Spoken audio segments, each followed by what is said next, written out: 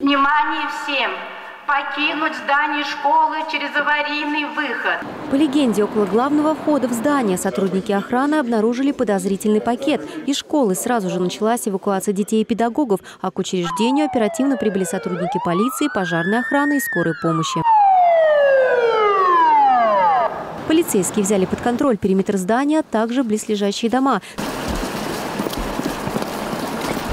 Следом за ними на место прибыл специалист-кинолог со служебной собакой, которая специализируется на поиске взрывчатых веществ.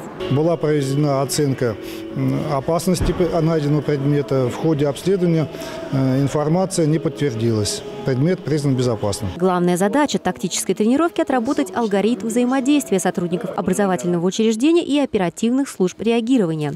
Тренировочная эвакуация прошла успешно. Грамотные и четкие действия педагогов и детей помогли уложиться во временной норматив.